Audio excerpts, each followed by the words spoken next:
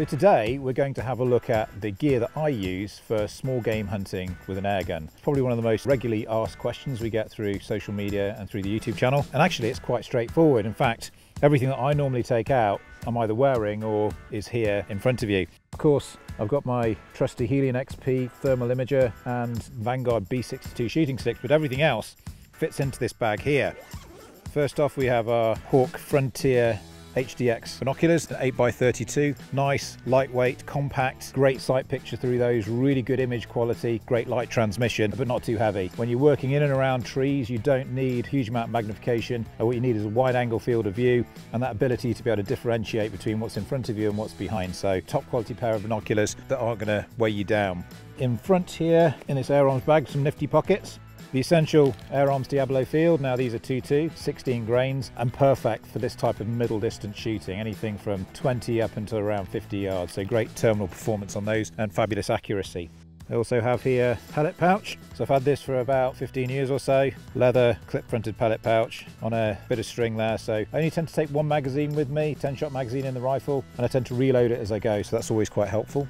Then I have the essential Hawke Endurance LRF 1000 rangefinder. Now this is an amazing bit of kit, about half the size of the previous 900 yard version and this genuinely does go out to 1000 yards in all light conditions. So of course we're not going to need that here. Mainly I'm going to be ranging for, for squirrels and pigeons and rooks and just see roughly how far they are.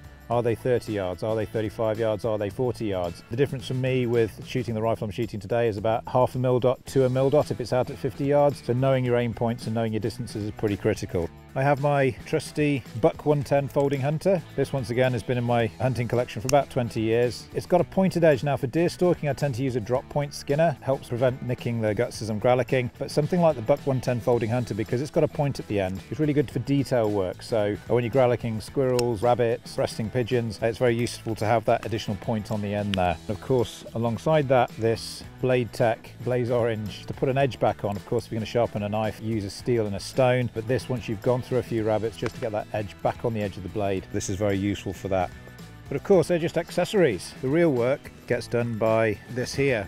Our rifle of choice at the moment is the Air Arms Galahad rifle. This is the high power version. So as you can see, it's the extended length version. There's two versions of the carbine and rifle in the in the Galahad. This has got the soft touch Duracoat stock on it, which is my favorite nice grippy finish to that. Uh, even when it gets wet and looks pretty cool as well. Now this weighs in about 3.8 kilos, fairly robust rifle, but the point of balance is just behind the pistol grip here. It allows you to maneuver the rifle without being forward heavy and it's great for taking elevated shots. So typically around the woods squirrels, rooks. So for me, having the Galahad with that point of aim, it's almost straight down onto your hand. So that's pretty fantastic. This is in 2.2 caliber. and you can see, it does have the power adjustment on here as well. I have it right the way up at full power, which is about 30 foot pounds. So this with the Diablo Field 2.2 pellets, I zero at 30 meters. I'm roughly half a mil dot low at 40 meters and roughly half a mil dot low at 20 meters. And by the time we get out to 50, it's between three quarters uh, and a full mil dot. So shoots pretty flat. And the great thing about having the Galahad, it's got quite a high position for the scope above the barrel, which means that for those longer distance shots, you don't need quite as much holdover because you're looking down the back end of the pellet's trajectory as it starts to fall. So it's a great combination. It's our first attempt at a bullpup and it's really got cult following now. So it's got this amazing forward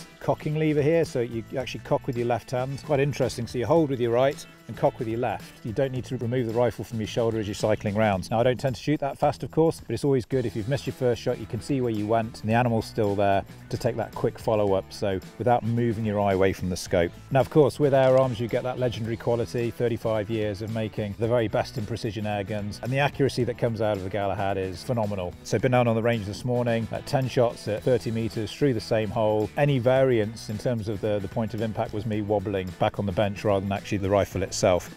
So the rifle version of this at full charge 200 bar will deliver between 50 and 60 shots depending on your ammunition. So there's more than enough there to keep you busy for a full day out in the field.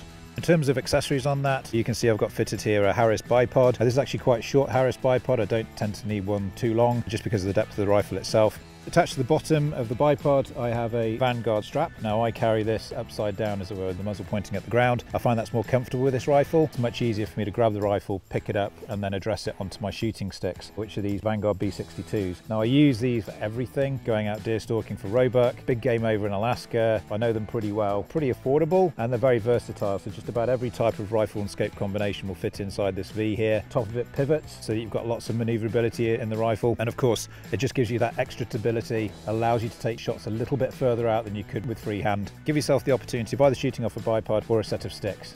So on top of this, we've got this pretty amazing Hawke scope. It's an Air Max Compact 30 SF 3 to 12 by 40. It is a very compact scope designed specifically for bullpup rifles and for compact lightweight maneuverable rifles. It's about 28 centimeters in length and weighs in about 600 grams, so it really is small and compact.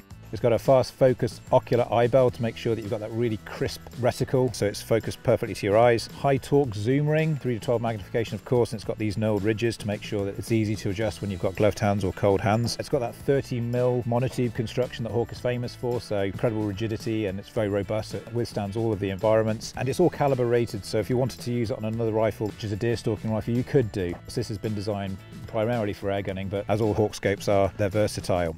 Moving a little bit further forward, we have this side focus adjustment here um, from 10 meters all the way up to infinity, and that has a three inch parallax adjustment here. And on the outside of that, uh, the glass etch reticle, which has six stages of illumination in red. So once you've found the setting that's perfect for your ambient light conditions, you can switch it off and then switch it back on again quickly. In terms of the turrets themselves, these are capped resettable locking target style turrets. Once you've zeroed the scope, there's a Allen key bolt in there, you just loosen it off, set it back to zero, and then as you're going, you can adjust those if you choose to. I typically don't tend to. I tend to pick a point on the reticle and use that as my aim point, but if you do want to adjust, then, uh, then that's there for you. Now in terms of the AMX reticle, the spacing between the dots is true mil dots, and then there are bars halfway between each of those. That's very useful for me because I know at 20 meters, I need to aim high by half mil dot, and the same again at 40 and then a full mil dot out to 50. So it allows you to take all the guesswork out of things and just place that point of aim exactly where you know it needs to be. So all in all, this scope and this rifle combination really does give you that confidence to take those shots out to around 40, 50 meters. There's perfect lethality in this rifle. It's carrying enough power to do that, but you need to put the pellet in the right place. So I put a lot of time in on the range with these. They seem to be working out really well. And so far I'm happy with their performance. So the final piece of technology that I've been using whilst out airgun hunting is this. Now this is a Pulsar Helion XP50 thermal imager. Might look a little bit space age, but this really is a game changer. When you're hunting small game in an environment such as this, with all the different colors, textures, depths, shadows, it can sometimes be very difficult to pick out what the outline of a, a squirrel is, for example. So this, as soon as you put the thermal imager onto the animal, it just shines bright red. You can see exactly what's in front of you. Of course, it's a little bit expensive. I do use this also for deer management and for foxing. It's not the sort of thing I think you buy casually for airgun hunting, but for sure, if you've got one that you use for other purposes, then definitely bring it along. So this in combination with these binoculars really do help bring the canopy into clear focus. You can see that there's an animal there and you can then identify exactly where it is. My choice for going out, certainly during the summer, is the Deerhunter Muflon Light. Now this is in Realtree Edge. I'm not saying you need camo, of course everybody can choose to hunt in their own way, but personally for me, breaking up your outline, softening the edges allows you to make more movement, allows you to make more mistakes. The Realtree Edge camo is the most advanced camo they've ever made. Lots of detail, lots of depth, so I find it works really well here in Europe and elsewhere in the UK. It's lightweight, it's breathable, but it's also showerproof. This time of the year, it's going to be warm, you're going to be moving around, you're going to be active, so you need something that's going to be able to take that sweat and moisture away from you. There's a shower, you don't want to be ducking under cover, you want to be able to continue out in the woods.